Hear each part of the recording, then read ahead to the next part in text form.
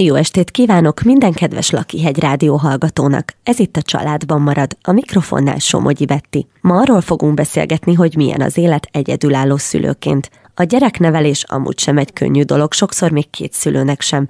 Egyedül pedig még inkább számos nehézséggel kell megküzdeni. Magyarországon ma több mint fél millió gyereket egyetlen szülő nevel. Az egyszülős családok száma körülbelül 300 ezer olvasható az Egyszülős Központ közleményében. Ráadásul az egyszülősök több mint 10%-a nagy családos is. Idén megalakult a Sziget-Szent Miklósi Egyedülálló Szülőklubja, ami azért is különleges, mert itt a térségben korábban nem volt ilyen klub, ahol az egyedülálló szülők összegyűlhetnek és támogathatják egymást. Vendégem itt van már velem a stúdióban, Kis Helga, a Sziget-Szent Miklósi Egyedülálló Szülőklubjának a klubvezetője. Mindjárt kezdünk, tartsatok velünk a következő órában. Köszöntöm a stúdióban Kis Helgát, a Sziget-Szent Miklósi Egyedülálló Szülőklubjának a klubvezetőjét. Örülök, hogy itt vagy velünk, és elfogadtad a meghívásunkat. Szia Betty, én köszönöm szépen a meghívást, és üdvözlöm a hallgatókat. Hát megalakult Sziget-Szent Miklóson az egyedülálló szülőklubja. Mesélj egy kicsit erről, hogy hogy jöhetett létre ez a kezdeményezés itt a mi kis városunkban.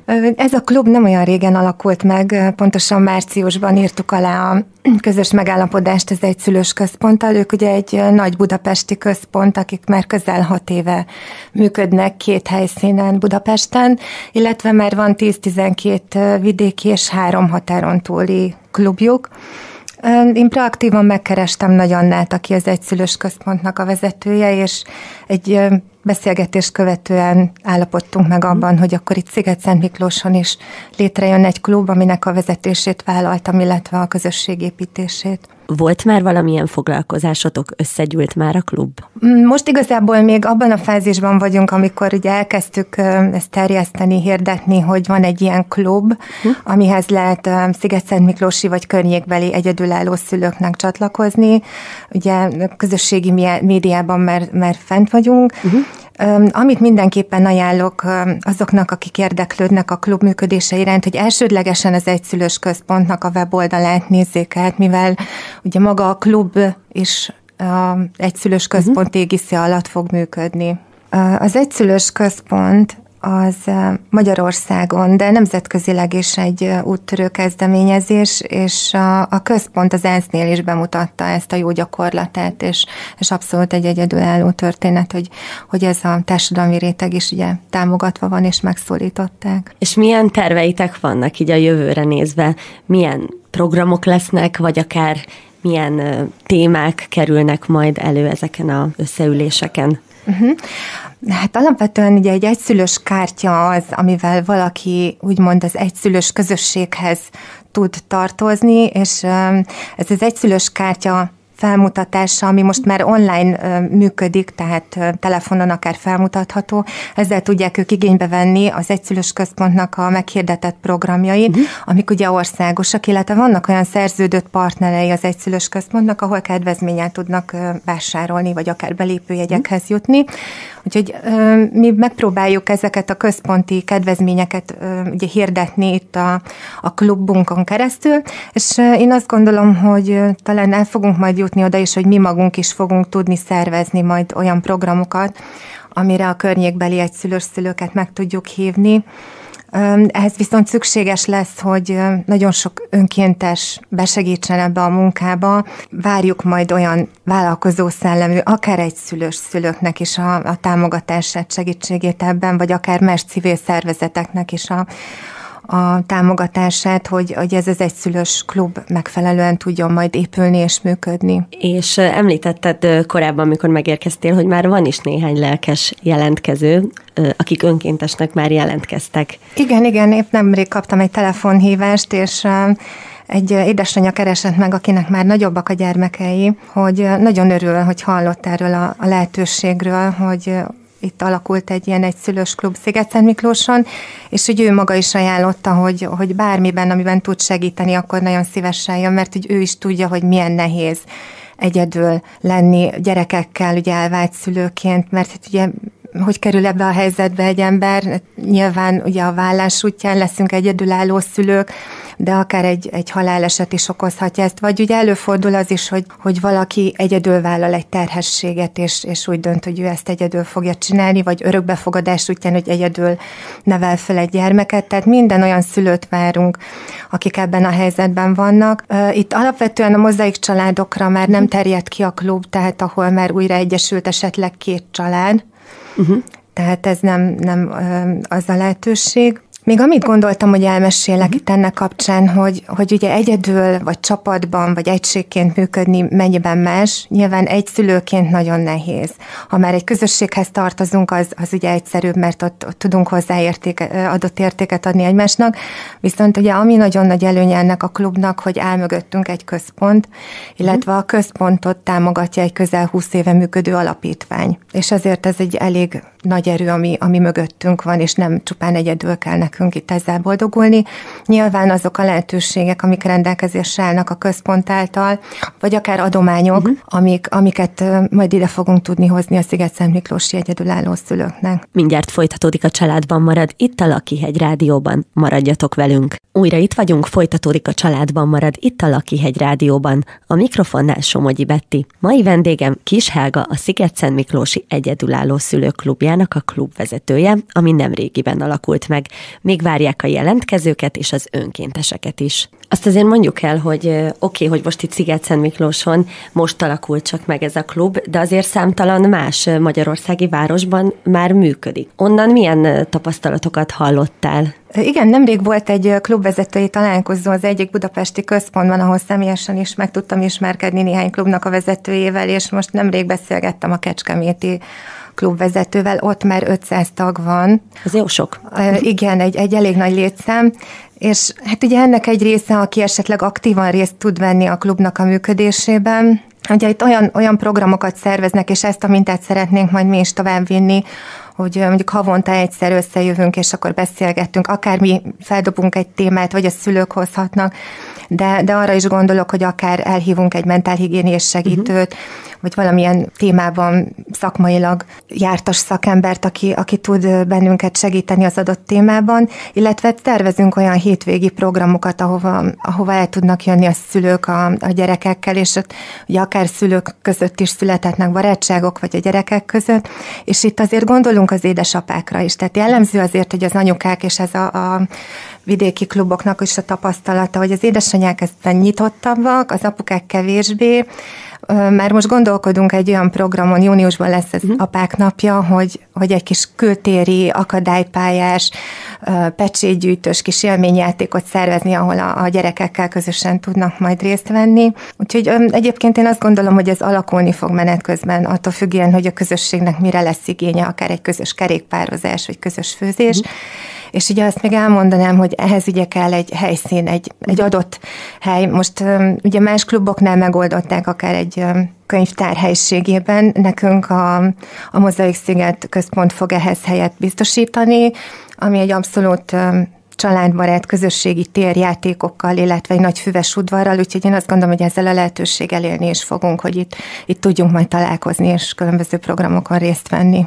Mit gondolsz, hogy az egyedülálló szülők hogyan tudják leginkább egymást segíteni, vagy egymásnak támaszt nyújtani, akár így lelkileg? Hát azt gondolom, hogy egy kisebb csoportban, amikor, amikor 10-15-en maximum összejövünk, akkor jobban megnyílnak a szülők, és, és jobban előadják a, a saját nehézségeiket és problémáikat, és ugye egymás tapasztalataiból azért tudunk meríteni. Igen, um, meg hát, hogy olyan emberek hallgatják meg őket, akik valamilyen szinten ugyanilyen, vagy legalábbis hát ugye nagyon hasonló cipőbe járnak, nyilván egy kicsit azért úgy élethelyzettől függően, hogy nem mindenkinek azonos korú a gyermeke van, akinek mondjuk jobban segít a nagymama, vagy akár az apuka. Igen, igen, és nem. ugye egyedülálló szülőként én is ezzel küzdök, hogy, hogy a gyerekeknek a, a felügyelete. Ugye hát nagyon fontos, az ember visszamegy dolgozni, egyéb elfoglaltságai vannak, hogy, hogy azért beleszorul abba a helyzetbe, ha nincs segítsége, vagy éppen babysittert nem tud fogadni, hogy, hogy akkor mi is legyen a gyerekekkel. Úgyhogy erre is gondolok, hogy gyerekfelügyeletet biztosítani majd bizonyos uh-huh. alkalmakkor, ezzel is megtámogatni az egyszülősöket. Meg ami nehézséggel én szoktam küzdeni, hogy mondjuk nincs férfi a közelembe, aki felfúrjon egy képet a falra. Tehát, hogy egy közösségben azért ezzel is tudjuk egymást támogatni, hogy segítünk ott, ahol kell, vagy amire éppen szüksége van a másiknak. És akinek már egyedülálló szülő, de mondjuk van egy új párja, akivel, akivel nem feltétlen élnek együtt, uh-huh. de, de már kialakulóban uh-huh. van a kapcsolat. Ő még jelentkezhet, igen. vagy tehát akkor igen, ő még nem igen. számít úgy ö, bele a mozaik család? Egyébként ez egy szülős kártyának az igénylése is már megtörténhet akkor, hogyha már a vállás folyamatban van, uh-huh. és ez a központnak a weboldaláról ö, olvasható, hogy milyen feltételekkel lehet ezt ö, igényelni. Ennek van egy egyszeri éves díja, egyébként egy nagyon csekély összeg, bár jelezte a központ, hogy akinek ez is nehézséget okoz, akkor uh-huh. azzal kapcsolatban ugye jelezheti a központ felé. Már is visszajövünk a zene után. Lakihegy Rádió helyben vagyunk, ez itt a családban marad, a mikrofonnál Somogyi Bettit halljátok. Mai vendégem Kis Helga, a Sziget-Szent Miklósi Egyedülálló Szülőklubjának a klubvezetője. Még arra picit térjünk vissza, hogy ugye a gyerekfelügyeleten kívül neked is, mint egyedülálló édesanyának mi az a legnagyobb nehézség, ami még szembe jön ilyenkor veled? Ugye két szerepet vállal ilyenkor az egyik fél, mert meg kell felelni ugye a saját szerepében, én mint édesanya, de, de ez mellett ugye minden házi munkát el kell végezni, amiben esetleg előtte a, a párja besegített, illetve valamilyen szinten képviselni kell a, a másik felet is, tehát azért következetesnek kell lenni, ugye a nevelésben határozottnak, és, és hát ez egy nem egy egyszerű dolog. Mikorra tervezitek, vagy lehet-e már tudni, hogy mikor fog először összeülni a klub? Nincs még konkrét dátum, most még várom a, a szülőknek a jelentkezését, Ugye tipikusan ez az a szenzitív réteg, én azt gondolom saját magamról is, akik, akik élünk a társadalomban, de hogy nagyon nem merjük ezt hangoztatni, mutatni. Ez egy rossz beidegződés talán, mert ugye ez, ez nem egy, egy szégyelni való történet, hanem, hanem igenis ugye hát ez egy olyan élethelyzet, ami, ahova eljutottunk, amikor már ugye nem volt más lehetőség, mert, mert ki kellett lépni egy házasságból. Tehát, hogy rejtve van ez a társadalmi réteg. Én még várom a tagok jelentkezését, ha már lesz egy kézzel kézzelfoghatók és csoport, akkor mindenképpen össze fogunk jönni és megismerkedni, és utána együtt ötletelünk majd, hogy, uh-huh. mégis mire lenne igény. Az a terv egyébként, hogy ezeken a foglalkozásokon a gyerekek is részt vehetnek, ahol mondjuk kisebbek vannak, mert lehet, hogy egy nagyobb gyerek már nem, nem is feltétlen biztos, hogy elmenne, mert éli egy picit a kis saját életét is. Persze, természetesen, ugye pont ezek a szülők nagyon sokat együtt mozognak a gyerekeikkel, és erre lehetőséget fogunk biztosítani, hogy hogy a gyerekeknek is legyen program, vagy akár közösen, vagy akár úgy, hogy ott hagyják a gyerekeket, és akkor ő, ők addig elintézik a dolgaikat. Igen, mert egyébként a gyerekek között is ilyenkor tök jó barátságok születhetnek, ami később azért megmarad nem csak a szülők között, hanem, hanem a gyerekek között is. Igen, igen, ez, ez nagyon jó dolog lenne. Még annyit visszatérve, hogy a gyerekek, mit gondolsz, hogyan élik meg ezt az egész helyzetet, hogy csak anya, vagy, vagy akár csak apa van velük? Igen, igen. Nagyon szívesen mesélek a saját tapasztalataimról, és azt gondolom, hogy ezért is tudom hitelesen képviselni a klubnak a, a vezetését, mert, mert én is nagyon szívesen meghallgatok bárkit, és, és próbálom az én tapasztalataimat átadni. A, a gyerekek azt mondják, hogy rugalmasak, nagyon sok mindenbe bele tudnak idomulni. Vannak ugye nehezebb élethelyzetű vállások, vannak, amik esetleg a két partner viszonyától függően azért kicsit gördülékenyebb. A, amit én nagyon fontosnak tartok, hogy a gyerekekkel kommunikáljunk. Nagyon sok mindent nem értenek, ami felnőtteknek hogy evidens, például például egy, egy elvállás után, amikor meg külön élnek a szülők, akkor, akkor ugye megszokták már, egy egyszer itt vannak, egyszer ott vannak, viszont mondjuk bejön egy harmadik fél a, a kapcsolatba, és akkor mondjuk ott, ott lesz egy eljegyzés, vagy, vagy ugye tovább lépnek, és akkor azt gondolja az ember, hogy gyerekek ezt értik, nem, mert hogy, hogy itt beléphet egy ilyen képzavar, szerepzavar, hogy most akkor most két apukám lesz, vagy két anyukám, vagy most akkor egyik kiüti a másikat, vagy, vagy ugye az aggodalom, hogy a másik szülő, aki esetleg egyedül van, akkor ő mit fog megélni, és hogy ilyen kis szorongások vannak a gyerekekbe, úgyhogy nagyon fontos, hogy, hogy próbáljuk meg azért a gyerekeknek ezt már mutatni, kommunikálni, kicsit rávezetni őket, hogy mondjuk egy ilyen bejelentés azért ne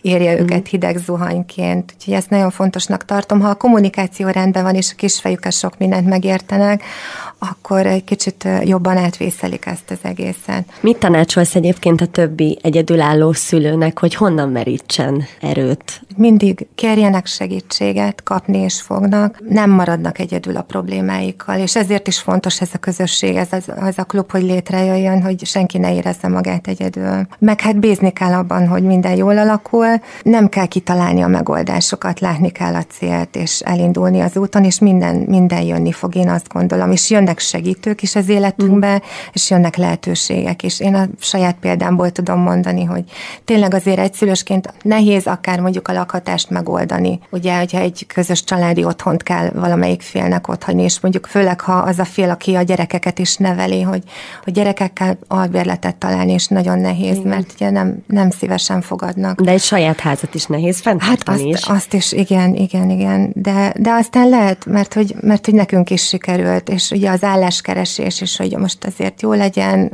tudjon is ugrani a gyerekekhez, tehát borzasztó sok kihívással kell szembenézni, de aztán úgy rendeződnek ezek a dolgok. Pár perc, és jövünk is vissza, és folytatódik a családban marad itt a Lakihegy Rádióban. Itt is vagyunk, újra folytatódik a családban marad, itt a Lakihegy Rádióban. A témánk továbbra is, hogy megalakult az egyedülálló szülőklubja, itt Sziget-Szent Miklóson, vendégem a klub vezetője, Kis Helga, de arról is fogunk hamarosan beszélgetni, hogy a Mozaik szigetben május 18-án indul egy öt alkalmas ingyenes szülőtámogató tréning. Mit gondolsz, miért van egyre több elvált szülő?